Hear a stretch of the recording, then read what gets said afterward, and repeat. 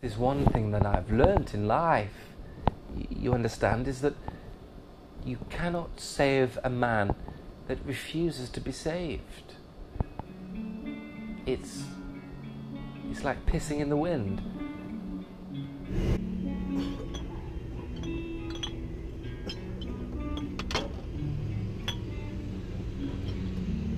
My brother, my let's live free.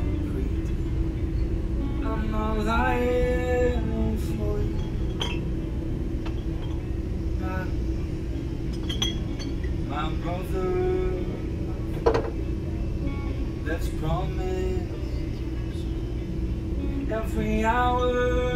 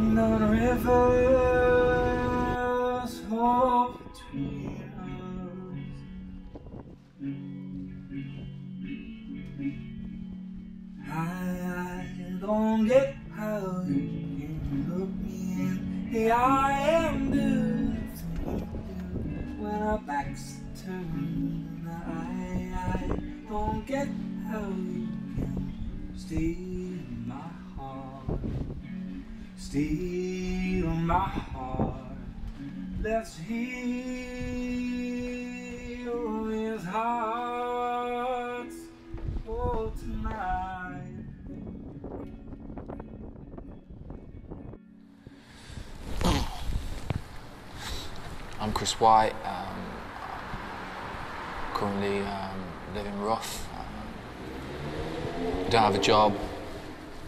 Um, that's it. So you live permanently on the streets? Um, not all the time, no. Um, Framework, um, which is a local charity, and uh, you know they help us out, and a few of us too. So um, whenever they got spaces, we we queue up and we wait outside. I mean, if this space is great, I mean, we've got a nice bed, well, a bed.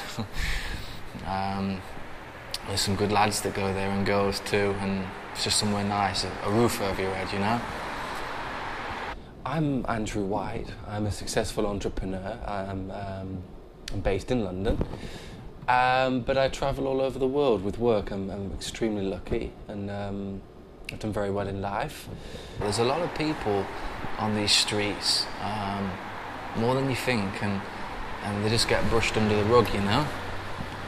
But, um, but yeah, so maybe three days out of the week, um, I have to sleep rough and, and find somewhere, you know, warm and in the shade, I guess, uh, out of the way.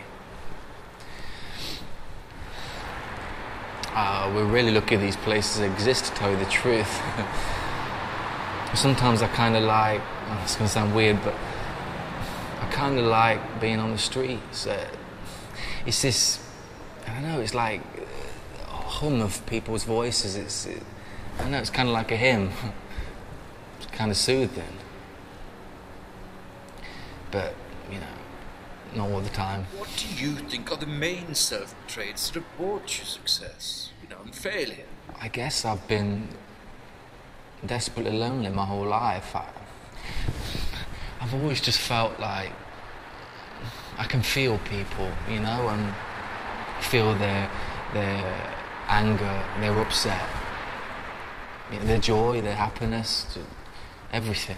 And um, I guess I never was really able to distance myself from it. Um, it, it, was like um, it was like traffic in my brain. And I just couldn't couldn't fine tune it, you know.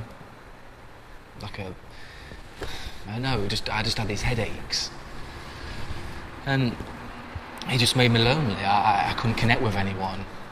You know, people couldn't understand me. They you know, instead of try, trying to help me, they, they just shunned me. They just they just crammed drugs down my throat, and and you know, it's kind of funny because I thought I should open, you know, some shares in Boots. they gave me a lot of drugs. You know, the um, my health worker, um, anyone really, my family when I was younger, they they just gave me these, you know, prescription anxiety drugs because they thought that um, I had anxiety. They thought I had ADHD. Oh, oh, what else did they think I had? Um, epilepsy. anyway, um, they just didn't know what to do with me. You know, and then, well, anyway, things took a turn for the worse a bit later on, but you know, I'm not going to go into that. Why are you bothering with this prick? Huh? You're doing just fine by yourself. I mean, sure, you've hit a little speed bump, but you stuck to what you believe in. You'll do fine. Who's this clown? He's laughing at you. He is laughing at you. You know, I hate myself for it, you know. I, um, thought I was a weirdo. And the parents didn't help. You know, they were so wrapped up in their own shit. And the, obviously the drugs weren't helping, and I just felt like a freak, you know. I, I hated myself because of it, and I guess that made me more lonely. It pushed me into isolation, I, guess. I didn't have the, the best start in life, you, you understand, but I made the most out of the very least, and um, I never made excuses. I never, I never blamed anybody. I, I simply just got on with what I needed to do, you know. Um, and I, I suppose I was quite relentless. Some have said that I was a bit like a bull in a china shop. um, you know, always chaos. But I worked hard. I made a lot of friends, a lot of good friends that supported me along the way.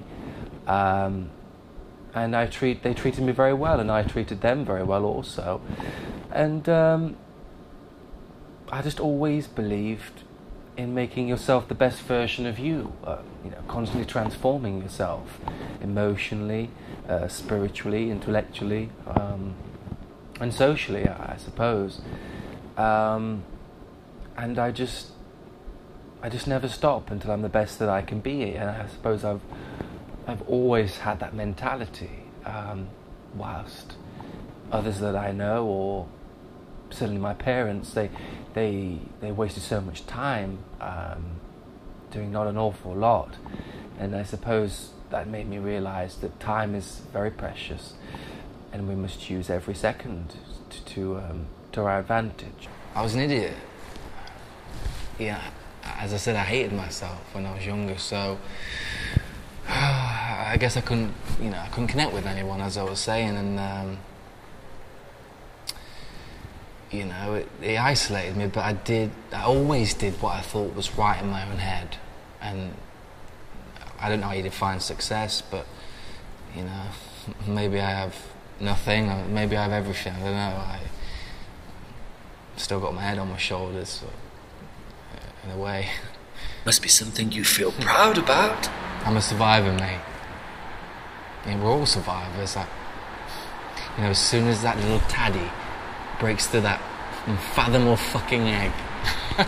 And what was You it like, Greg? About how's your relationship? But you know, whose upbringing's perfect? I mean, come on. Uh, I mean, yeah, there was drugs and drink and other stuff, but you know, um, my grandparents, you know, took me in in the end. But I can't help but think that they took a bit more of a liking to, you know, to Andy. Um, helped him to love himself, you know, figure out who he is and where he belongs in the world. Um, you know, and I, I guess I hated that. Was always missing that piece, you know. Um, I don't think I ever really found it. you know, Chris and I did a lot of the cliche things that children do. Um, build tree houses, you know, go out and bike rides, exploring the world, you know, um, playing with friends, um, video games, you know. But um, you know, it wasn't always that way. I certainly my my mother and father were very selfish individuals, and and so our relationships were very excuse me were very fragmented. You see, um, and you know, my, my mother drank, and my my father um, was a substance abuser, and and I didn't really have an awful lot. I was close to my mother for, for, for a long time, and then things just got too much. And um, I realized early on that I needed to break free and, and make a better life for myself. So, so I moved in with my grandparents, um, and they took me under their wing and, and, and supported me, and, and um, I suppose gave me the confidence in myself I needed to, to be an adult in, in the world that we live in.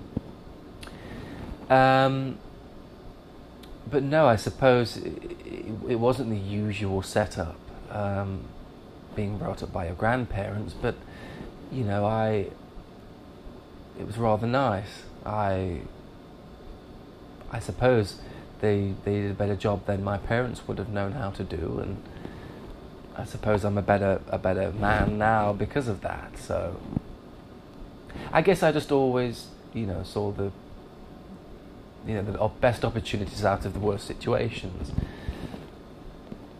But I think as a child, you, you, you only really care about yourself and, and your internal bubble. You know what's good for you, um, and so I was very good at getting on with things, and I suppose I, I maintained that same childlike attitude up until now. I went to the same schools as Andy. I ate the same processed bullshit, watched the same garbage on TV. Um, but I was always questioning things, you know, always wondering how everything worked, the intricacies of everything, you know, people and just things really. And um, he always just wanted instant gratification. He wanted it now. He didn't care about people or people's feelings. He only wanted what he wanted. He wanted to be. He always wanted to win. He always wanted to be right. You know, um, that's all he cared about. Self-preservation. So you feel it that it was a lack of love from your siblings that pushed you into isolation? I just wanted something more.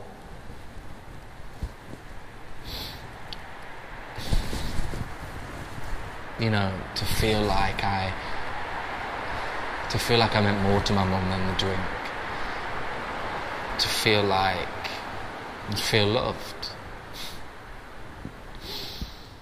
You know, I was always the guardian, being so young and making sure everything that my mum was okay. You know, when my dad left, um, you know, I, I, was the the one that looked after her, which was the two of us.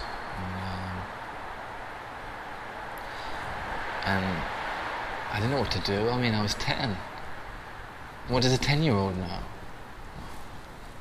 More than you might think, actually. I Don't know what to say. I'm disappointed with you. You gotta listen to your gut, listen to your instinct. That's where the truth lies. You need to find the strength and the courage to reinvent yourself, reinvigorate yourself. Only then will you find success. You've got to listen to me.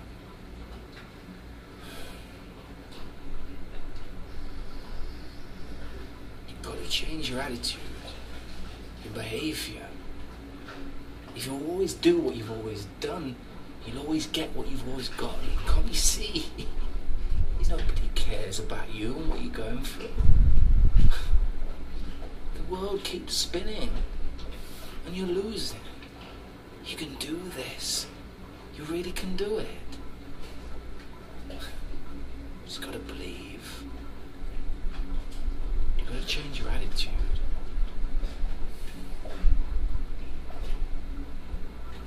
I believe in you.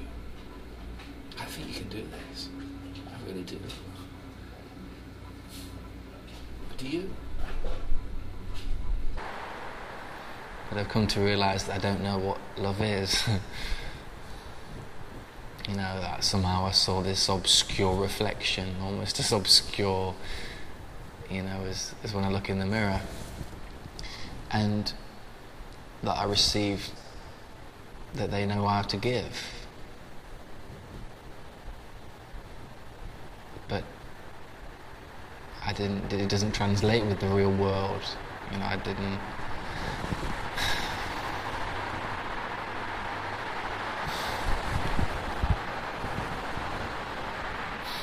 Tell me how you feel about Andrew now. I love him. Of course I love him. You know, um, have I hated him? Yeah, of course I have. You know, uh, he, was- he had everything that I always wanted.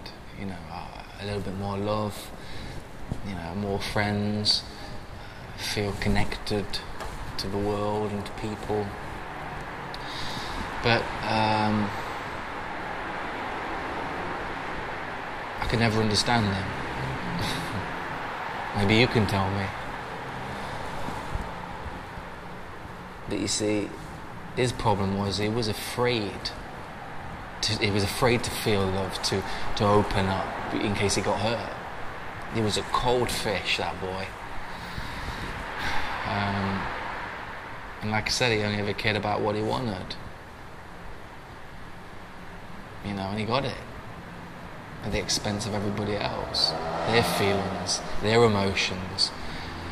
He didn't give a shit. And if that's how you want to define success, then do it. You know, if, if, if that's what people think is the fucking answer, then um, sure.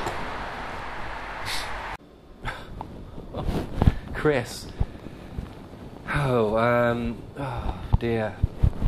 I. He's a dreamer. He, he, he lives in the clouds. He, he, he can't cope with reality, so he, he takes all these substances and bloody hangs around with these idiots, these morons, and and he, he drinks because he can't cope. He can't find peace in the real world, and I can't understand it. I just can't understand how anybody can live life like this day to day. You know, scared and afraid and weak. You know, I. We were both thrown into the water. But I learned to swim very quickly. And Chris, well, he. He just treads water. He, he, just treads day after day. Because. I don't know. I, I don't know. I don't know the guy. I, I, I fail to understand the mechanics of his mind and how he works. And look, I, if I did understand him, I suppose we'd be in the same position. But no, I don't understand him. I have I tried? Yes, of course I've tried. But I'll tell you one thing: there's no such thing as a free lunch. And this guy feels like everybody owes him a favor. Like he doesn't have to work, like he doesn't have to contribute to society. Look, we all have to contribute. There's no escape, there is no getting out of this. Look, I'm sorry, but it really bugs me. I. I don't know what to say. I. I worked hard, very hard, to get where I am today. To, all of this that I've earned and crafted from my bare hands, from hard work, from networking, from connecting, from. I, I, I came from the same upbringing as Chris, but we had different ideals, attitudes, and beliefs about how to live our lives. I didn't make excuses. You know, I didn't blame anybody. Things are as they are. Shit happens. You know, but he he's lazy. He, he, he- he's full of hatred and, and blame. And I've never been able to understand that attitude. To just glide by. When we were kids, we had nothing. Not a dime, you know. Uh, there were times when, um, when we didn't have enough to even make a sandwich, not a slice of bread. You know, some days we had no electric, no gas. You know, we'd sit there um, with candles some nights. You know, and he never wanted that. He he never wanted that. It made him realise that the only thing he wanted was to be fucking rich. It's the only thing he had and the only thing he thought about in his mind the whole time. Was scared to death of going back there to that place. You know, I found solace in it in a way. Um, but he couldn't do it. But you see, this thing about greed is it's this this disease that, that makes you so fucking thirsty that, that you can't quench it. You want more and more, and it's never enough. It becomes an obsession. I mean, yeah, some might say he has the old fucking works. You know, he has the parties with the fake tits and, and people that smile through gritted teeth. But ask me if I want it. Go on, ask me. I won't trade it for the fucking world. So his soul. And fuck right off. You know, a friend of mine once told me that above all, abandonment is the worst sin that you can impose on anybody. You know, to leave a man with no feeling of love, you know, a feeling of emptiness, because all he does is inflict that hatred and that emptiness on everybody that he meets, spreads it like a virus. And, um, you know, tries to find the answer to questions in which he has not yet asked himself. So you think he put success before his family? Yeah, of course. He got scared, he did a runner. You know what his favourite game was when we were growing up? Knock a door, fucking run. Should have known. What things do you think you have done right and wrong? stubbornness, I guess. That, um, you know, my stubbornness and my, I suppose, my loyalty in what I believed in. You know, my unwillingness to change my belief systems. You know, they were kind of rigid, so I couldn't bend. I wouldn't change. I wouldn't fucking lick anyone's asses to get where I wanted to be. I just stayed true to myself. But in a way, it's a, you know, it's a weakness you know, not only does it isolate you, but people don't want to help you, and you know, you don't. If you're not flexible, you you can't survive. But you know, my hating myself was a big thing. It's always been a big thing. Uh, I'm trying to, you know, change it. Um, but maybe the only thing is that's important is that we can love ourselves first, you know. Because how else can we learn to love anybody else? Can't, can we? I, I was very hardworking. I was always a believer that you're responsible for your own destiny um, by working hard. You know, your own successes and failures are determined by by the, what you put into life. And um, but in the last year or so, I, I've started to address some of my own issues as a human being, and I've come to realise that it's not simply ourselves that have an influence over how, how we do in life. I, certainly, as I said, my grandparents had a profound impact on my successes as a you know as a person.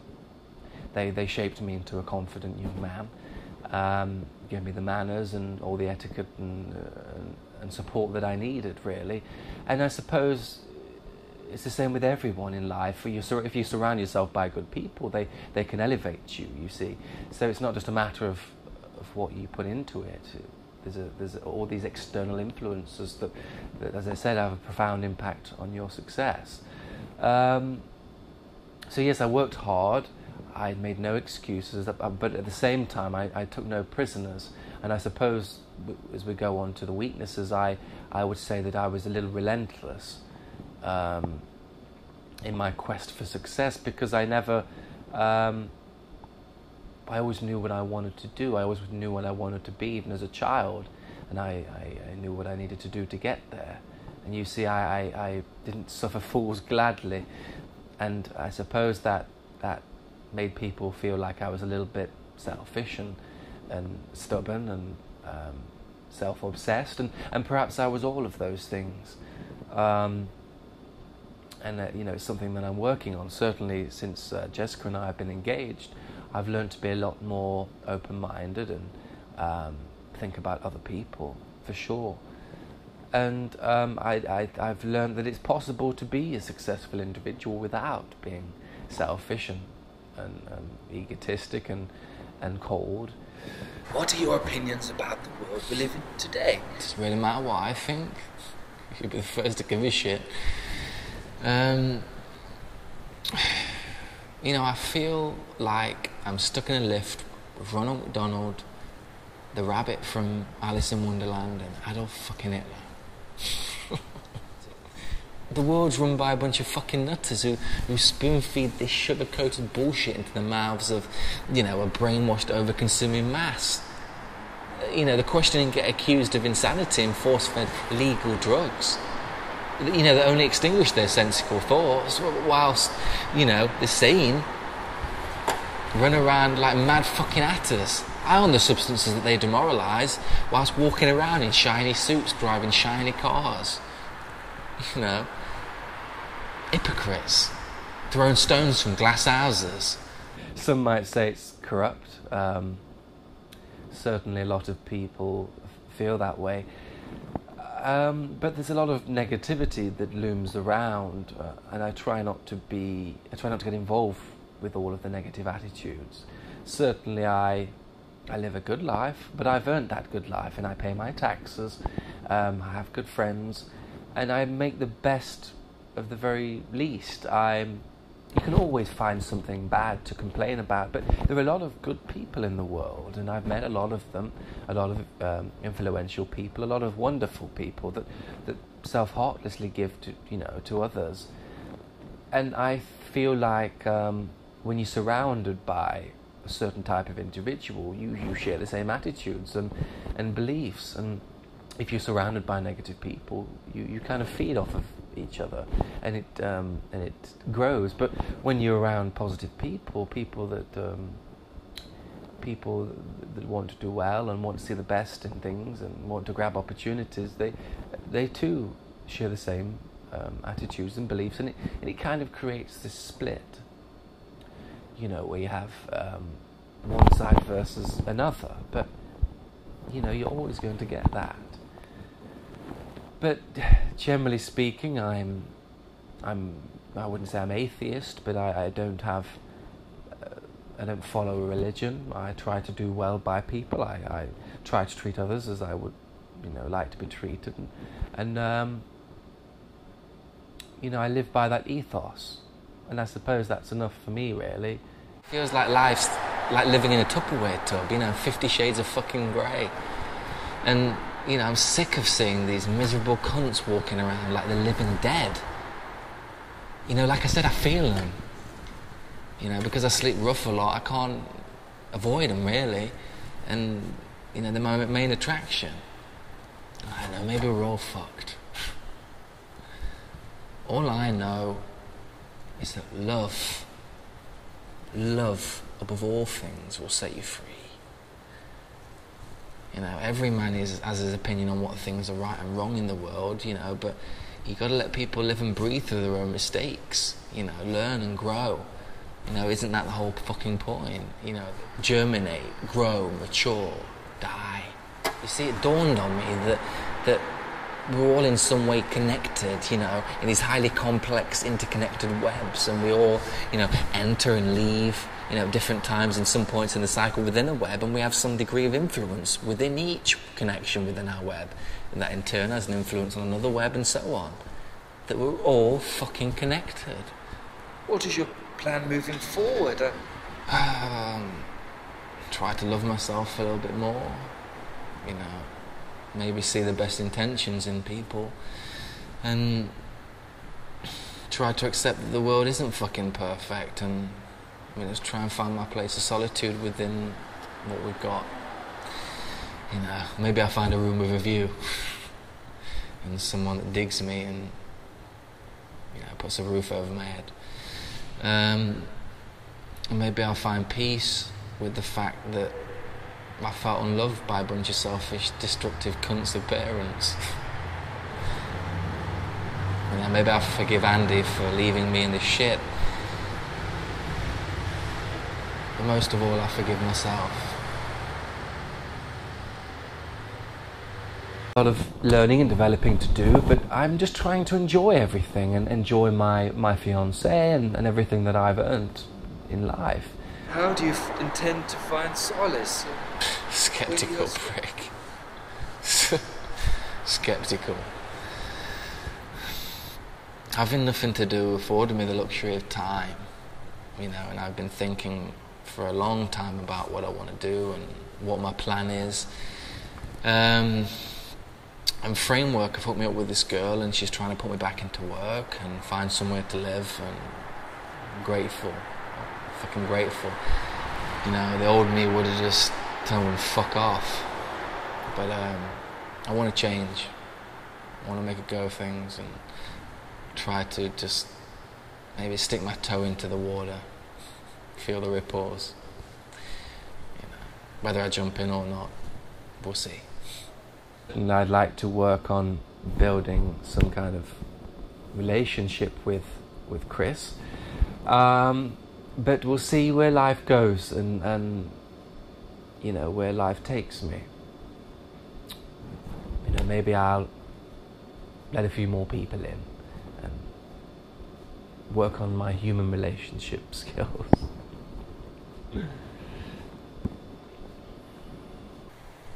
And finally, how about your brother Andrew? I can see he's quite the influence on you thus far. My brother? Has there been any reason? I don't have a brother. But I thought Andrew was your brother. Isn't it obvious? It all comes Could go either out way, couldn't it? you're strong enough to demand. It all comes out in the end when we're brave enough to stand. It all comes out in the end when we're strong enough to mend. It all comes out in the end when we're brave enough to stand.